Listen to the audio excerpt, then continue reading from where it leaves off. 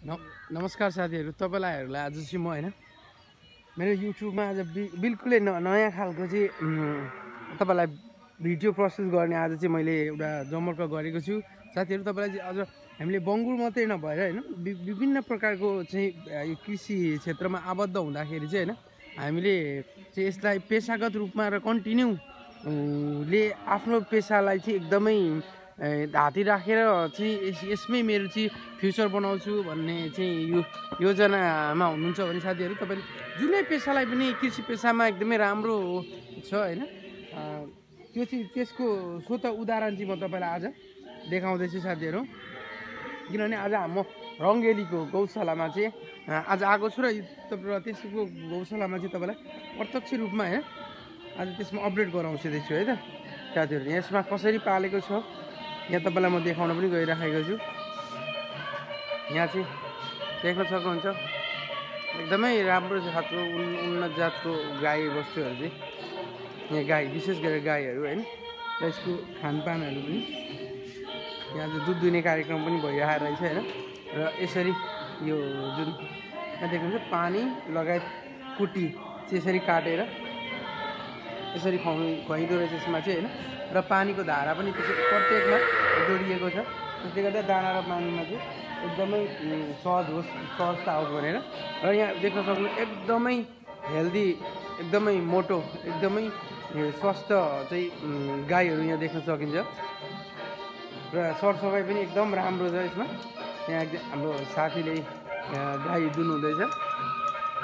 होइन? अब ठ्याक्कै अहिले चाहिँ बिहानको समय गाई दुने टाइम भएको कारणले उहाँले चाहिँ अब गाईलाई फोकस गर्नु गाई दुनेमा फोकस गर्नुहुनेछ एकदमै राम्रो। तर यहाँ चाहिँ अहिले मेसिन प्रयोग गर्ने गरेको रहेछ होइन? हातैले उहाँले चाहिँ हातैले अहिले गर्ने यहाँको त्यो रहेछ होइन? चलन। सिस्टम यहाँ अहिले अर्को विद्युत सिस्टम आइसकेको रहेछ। यहाँ तपाईँलाई चाहिँ एकदमै बिहानको समयमा होइन? सरसफाइ लगभग सकिसकेको छ। सरसफाइ र गाई गाईहरू चाहिँ एकदमै हेल्दी एकदमै मोटो गाईहरू चाहिँ यहाँ देखिन्छ। एकदमै राम्रो कन्डिसनमा छ गाईहरू हेल्दी अवस्थामा छ र सम्पूर्ण गाईहरूलाई बिमा पनि गरिएको छ र गाई चाहिँ एकदमै उन्नत जातको छ होइन जर्सी टाइपको र यहाँ देख्न सक्नुहुन्छ। लगभग अब दुध प्याकिङ भइसकेर दाजु यो दुधहरू चाहिँ कहाँ जान्छ दाजु? रङ्गली बजारमै। दाजु यहाँ दिनको दैनिक कति जति उत्पादन हुन्छ दाजु दुध चाहिँ? दुध त धेरै कम्ती छ अहिले तपाईँको त्यही डेढ मन जति। छ डेढ मन जति डेढ मन भनेपछि साठी लिटर? हजुर हजुर। ए साठी लिटर। यत्रो धेरै छ त दाजु गाई? गाई त यो अब गौ संरक्षण गर्ने उद्देश्यले खोलिएको संस्था ए। ए यो भनेपछि यो पैसा कमाउने भन्दा पनि यसलाई चाहिँ यसलाई संरक्षण गर्ने उद्देश्यले हो। ए यो चाहिँ व्यक्तिगत नभएर सहकारी संस्थाको कस्तो हो दाजु यो चाहिँ? समितिले। यहाँ जम्मा कतिजना छन् दाजु काम गर्ने? दस बाह्रजना। अहिले हामीसँग मोटामोटी दाजु गाई के कति होला? तपाईँले के गाई अहिले एक सय अस्सीवटा। सानो ठुलो सबै मिलाएर। अरे बाप यो यो यो जातको चाहिँ कुन दाजु? यो चाहिँ एकदमै ठुलो रहेछ। यो होलिस्टेन हो यो। होलिस्टिन जातको। यहाँबाट चाहिँ के बच्चा जस्तो कि बाच्छा बाच्छीहरू पनि किनबेच हुन्छ दाजु? यो बाछी किनबेच हुँदैन यहाँ। बाछाहरू चाहिँ हामी राम्रो मान्छेलाई बेच्छौँ होइन। हजुर। बाछीहरू चाहिँ जति जन्मिन्छ नि यहीँ मात्र सबै ए ए भनेपछि यहाँबाट बाच्छी चाहिँ बेचिँदैन। गाई बाछी बेचिँदैन। गाई र बाच्छी बेचिँदैन बिउको लागि मात्रै बेचिन्छ। बिउको लागि बाछाहरू चाहिँ बेच्छ ए ए उत्पादन बढोस् भन्ने अब। उद्देश्यले। एकदमै एकदमै राम्रो उद्देश्यले यहाँ देख्न सक्नुहुन्छ साथै प्रत्यक्ष रूपमा एकदमै राम्रो बच्चा गाईहरू पनि एकदमै हेल्दी हेल्दी होइन? एकदमै तपाईँको लुते भन्ने चाहिँ कुनै पनि छैन र फेरि एकदमै उन्नत जातको गाईहरू देख्न सकिन्छ यहाँ। एकदमै ठुलो ठुलो होलिस्टेन खालको होलिस्टेन कुनै प्रेग्नेन्टहरू छ प्रेग्नेन्सीहरू छ यहाँ तपाईँलाई म देखाउँदैछु एकदमै हेल्दी कुनै लुते भनेको काहीँ छैन र यो चाहिँ यो दैनिक उत्पादन गरिएको दुध चाहिँ यही हाम्रै रङ्गेली बजारमा खपत हुँदो रहेछ र यो संस्थाको उद्देश्य चाहिँ नाफा कमाउनु नभएर यो गाई संरक्षणमा चाहिँ विशेष गरेर फोकस रहेछ र यहाँको कामदारहरू चाहिँ अहिले बाह्रजनाको हाराहारीमा हुनुहुँदो रहेछ र यो चाहिँ सहकारी सहकारीले चाहिँ चलाएको रहेछ। र एकदमै राम्रो व्यवस्थापन चाहिँ यसको। यो चाहिँ समितिले गरेको कारणले गर्दा पनि सायद त्यो होला र खानपिन पनि यहाँ यसको यहाँ चाहिँ होइन। यहाँ एकदमै राम्रो देख्न सकिन्छ। यहाँ खानपिनमा पनि विशेष ध्यान दिएको छ। कुटीहरू त्यसलाई मोलेर चोकर जस्तो बनाएर धानलाई सरी पराललाई चाहिँ मिसिनले काटेर एकदमै राम्रो अवस्थामा दिन सकिन्छ थियो र यसमा यहाँ चाहिँ फेनको पनि अवश्य व्यवस्था गरिएको रहेछ ताकि गर्मीमा। म यहाँ दाजुले मकै पनि लिन यसरी धेरै धेरै केयर गरेर चाहिँ ल। दाजुको नाम चाहिँ? मेरो मातृका प्रसाद घिमिरे। घिमिरे। हजुर चाहिँ यहाँको? म भेटनरी कर्मचारी हो। ए भेटनरी कर्मचारी। ए ए तपाईँलाई म सम्पूर्ण चिजहरू चाहिँ आज? चाहिँ यहाँ विभिन्न तपाईँलाई मैले यो चाहिँ एन्ट्री कोर्समा एकदम यसको भवन पनि एकदमै आकर्षक रहेको छ र यो भवन भवनमा पनि निकै राम्रो खर्च गरिएको छ। यहाँ देख्न सक्नुहुन्छ। एकदमै राम्रो भवनमा एकदमै धेरै राम्रो तरिकाले चाहिँ यसलाई भवनलाई मेन्टेन गरिएको छ। यहाँ चाहिँ कामदारहरू पनि एकदमै अझ ताकि यो बिहानैको समयमा पनि गौशाला चाहिँ एकदमै सही होइन एकदमै क्लिन एकदमै यसमा दुर्गन्ध रहित एकदम राम्रो अवस्थामा चाहिँ राखिएको छ। र यहाँ हामी देख्न सक्छौँ गौशालाको लागि चाहिँ जुन गोरु भनिन्छ होइन बिउ बिहारे गोरुहरू एकदमै यो चाहिँ एकदम रिसा रिसा टाइपको रहेछ होइन। यहाँ देख्न सक्नुहुन्छ एकदमै ठुलो छ यहाँ। यतापट्टि पनि राखिएको छ। यसै गरेर यहाँ चाहिँ त्यसको लगभग पान अघि पनि उहाँ साथीले भन्नु सरले भन्नुभयो एक सय अस्सीवटा जतिको हारिमा रहेछ।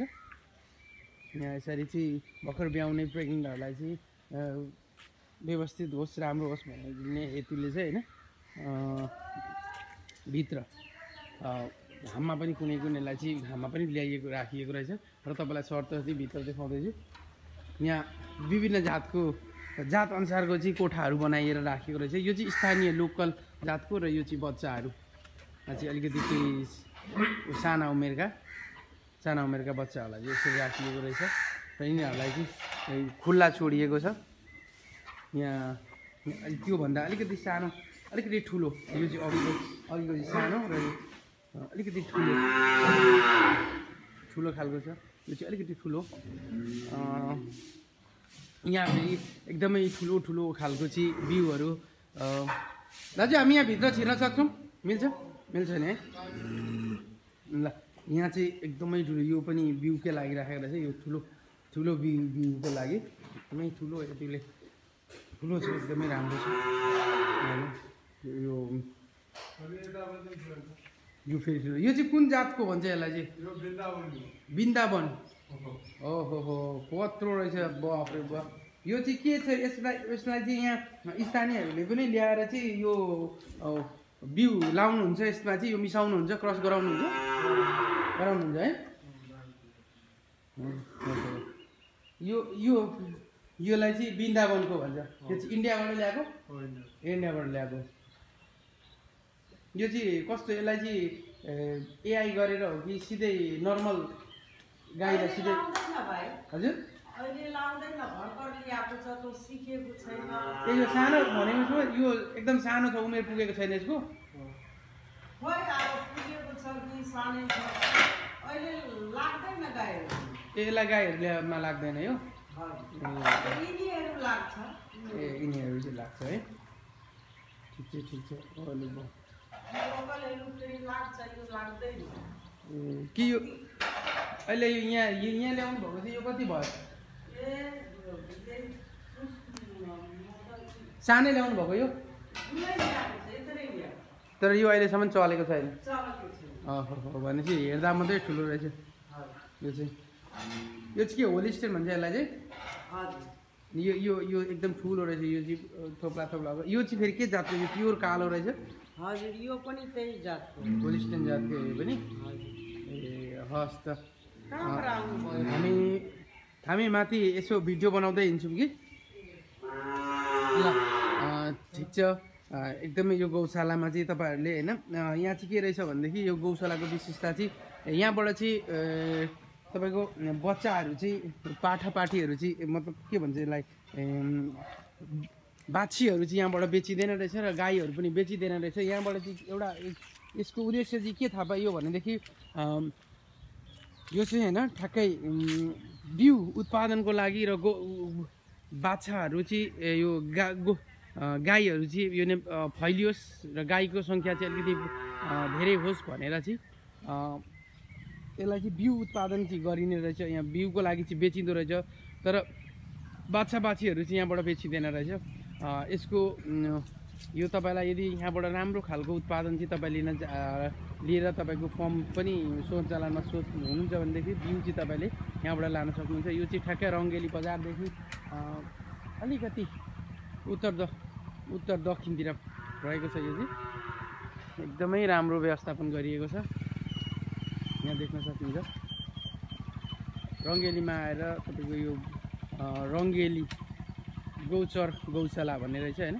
तपाईँले यहाँ चाहिँ सम्पर्क गर्न सक्नुहुनेछ।